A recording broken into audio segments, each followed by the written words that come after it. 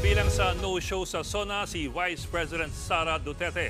Abala kasi siya sa ibang bagay, kaya't kahit sa TV o sa gadget, eh hindi raw siya makakapanood. At live mula sa Batas ng Pambansa, nasa frontline ng balitang yan si Ria Fernandez. Ria, anong ginawa sa ni VP Sara sa Bohol at sino-sino pa ang mga absent sa SONA kanina? Bok hindi talaga sumipot dito sa ikatlong State of the Nation na address o SONA ni Pangulong Bongbong Marcos si Vice President Sara Duterte. Maski ang ilan niyang mga kaalyado absent din dito sa SONA. No-show sa ikatlong sona ni Pangulong Bongbong Marcos kanina ang dati niyang running mate na si Vice President Sara Duterte. Ito ang unang beses na umabsent ang Vice Presidente sa sona ng Pangulo. Nauna na rin niyang sinabi noong nakaraang linggo. Kanina, bago pa man magtalumpati ang Pangulo sa batasan, naglabas na ng pahayag ang Office of the Vice President na nagsabing hindi rin manonood ng sona sa TV o kahit sa anong gadget ang Vice Presidente. Nasa Bohol daw ngayon si VP Sara para makiramay sa pagpano ng Vice Governor ng probinsya at para pagaanin daw ang loob ng mga Boholano matapos isa ilalim sa preventive suspension ng ilan nilang lokal na opisyal. Uh, busy ako sa mga activities uh, dito sa Bohol uh, today, uh, simula kaninang umaga hanggang uh, mamayang hapon, hanggang mamayang gabi. So, hindi ako manonood ng sorry.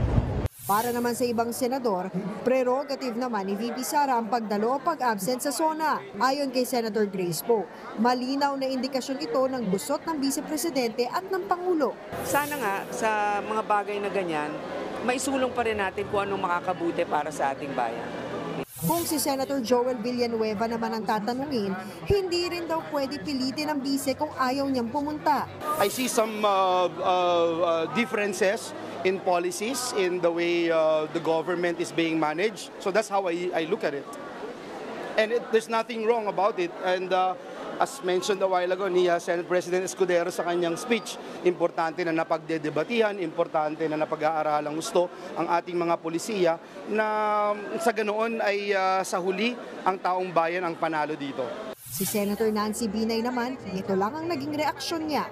Um, eh, ganun talaga, di ba? Bukod kay VP Sara, hindi rin dumalo sa SONA ang dalawang kapartido at kaalyado ng mga Duterte na sina Senator Ronald Bato de la Rosa at Senator Bongo. Pareho silang dumalo sa pagbubukas ng sesyon ng Senado kaninang umaga. Pero nataong may check-up daw si Senator Go ngayong hapon habang wala namang binigay na rason sa pag-absent niya si Senator de la Rosa.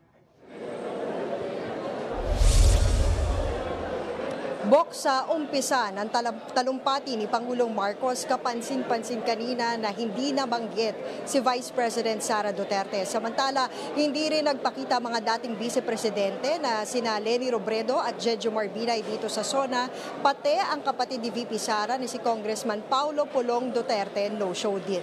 Bok? Maraming salamat, Ria Fernandez. Mga kapatid, Lucy Cruz Valdez po, maging maalam at may pakialam sa mga napapanahong balita sa bansa. Tumutok at mag-subscribe sa News 5 social media pages.